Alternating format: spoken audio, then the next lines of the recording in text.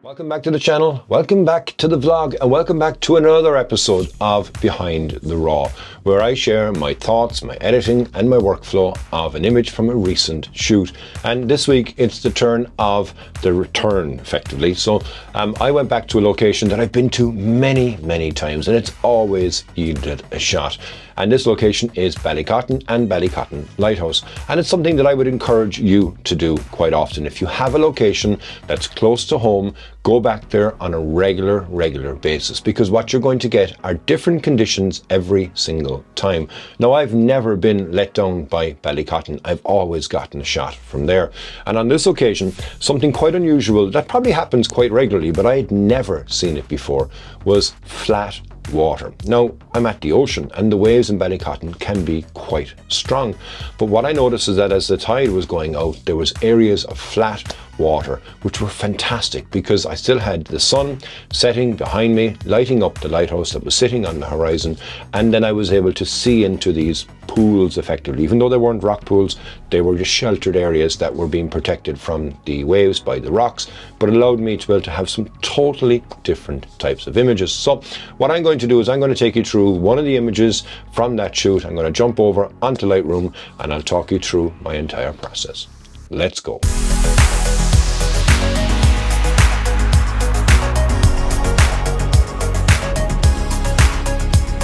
Okay, so here's my image right now, and as you can see, it looks quite dark. But that's the beauty in regards to shooting here in RAW, because this settings here was taken at 30 seconds, f13, ISO 100, and I was at 16 mil. Now, what I want to aim to achieve here is that utilizing my polarizer, I was able to see into all of these rocks that are below me. And as I edit this image, all of those are going to be revealed. Now, as I said in my intro, if I give you a look at something here, when we look up at the um, horizon. So there's Ballycotton Lighthouse, which is an iconic lighthouse, and one of only a few actually that are painted black.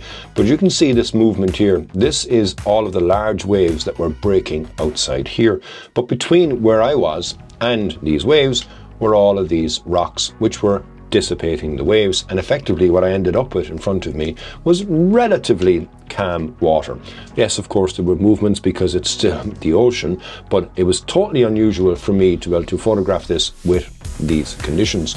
So what I wanted to do was put on my polarizer to be able to see into these rocks. And as I edit this image as well, you're going to see all of the detail here on the seaweed that was here and the kelp um, come to life on the image. And one thing I've noticed actually when I'm looking at this here is that I do have quite a lot of hotspots on my sensor. So these are little red dots that you'll see around here. This is because I was doing quite a lot of long exposures on that day and obviously your sensor is going to get warm. So it's something that just to be conscious of. You can remove them in post but just be careful in relation to the same. So as always I'm going to go through on my uh, process. So the first step I want to do is make sure that my horizon is straight. So when I look at this, it isn't straight, so slightly off. So I'm going to utilize uh, up here, if you keep your eye on this horizon, you're going to see a line appear in a grid line. And now I want to make sure that that is straight. So it is now straight. That is perfect. What I would generally do, as I've done in previous episodes of this, is just to give a steer, go ahead and click on auto, and auto is going to bring out the detail for what it thinks is right. That's not far off, actually, I think where I'm going to end up on, but you know, I want to take you through um, on how I would edit the image anyway in general. So looking at my histogram here, which is going to give me my steer. I'm okay from a highlights point of view, but I am quite dark. And I know I'm quite dark because these are dark. They were in shadow. Behind me, where I was shooting, actually, that is cliffs. And then the sun was setting behind that again. So you see that this is being lit up here on the top by the sunlight, but all here is almost in darkness. So with the 30 seconds and with my um, filters on to get the 30 seconds and with my polarizer of course it's going to be dark but I can bring all that detail out which again is the beauty of shooting in RAW. So we're going to first and foremost look and say, okay, do I need to increase my exposure? Now, if I increase my exposure slightly, we start to see some of the detail coming through, but we are lo losing the detail in the sky. So I'm going to keep my exposure as it is right now, and I'm going to settle for uh, editing the shadows and the blacks separately. So on the highlights point of view, whack it all the way up here, you see that's gone extremely bright. I lose the detail in the sky. Whereas if I bring it all the way down here, you can see all of the detail now in this clouds and everything else that's appearing here overall. So I won't bring it down totally, but I'm going to bring it down quite a lot. So there's the highlights down in relation to that. Shadows, I can whack those all the way up. I have all of the area to play around with here. And by whacking the shadows all the way up, you see now these rocks that I was telling you about are all now revealing all of the detail. And again, looking at these here, you can see the different colorings that are there, the different shapes that are there, not only on those rocks, but also on the other side as well here. So for now, I'm going to whack my shadows completely up. I will affect that towards the end, but just from the editing process, I want to bring it to where it is right now. And now that I look at this, I kind of want to increase my uh, highlights a bit further as well. Now, on the whites point of view, I've got a lot that I can play with here. And this is when I think the image is going to start to jump. So if I start to take these here, now I can bring my whites up. The image is coming more alive, becoming more vibrant such. Blacks, again, quite dark, so I can bring those up slightly. And I'm always looking at the histogram to try and bring as much detail into the center of the histogram as I possibly can. Texture I don't use, clarity I don't use. Dehaze, if I bring this up here, you notice that it darkens everything down and you can see into these rocks that are below me, but it's also creating this blue band above the top of the sky. So I don't want to do too much in relation to that. I want to keep this relatively um, normal per se. Now, looking down here as well, I'm going to go down uh, and I'm going to go into to my tone curve and I'm going to play with this slightly because I want to be able to affect this. If you look at the way the histogram is looking here, my tone curve is not really following that. I could say, okay, I'm going to click here and I'm going to click here and I'm going to click here and I'm going to bring that down to match that. But as you can see, what it does to the image is it completely destroys the image. And now that I've done that, I can see that I have a couple of sensor spots as well that are there. So I'm going to ignore that and I'm not going to go near my tone curve for now. Okay. Now, then let's go back while I just spotted it here and to go into my dehaze tool, whack that all the way up. And now you see these appearing. So if I, if I zoom in, I can look around for any dust spots or sensor spots. So there's one up the top here and I do seem to see that one quite a lot. So I'm going to uh, have to clean my sensor. So I've got one up here and I've got one here and one here. If I scroll across and look at the other areas that I have, another one which is what I spotted. So there's the other one here. Again, secret here is don't make this too big or too small. You want to make the brush just right with a small bit of room either side so that you don't get a very pronounced uh, sensor removal or dust removal, let's just say.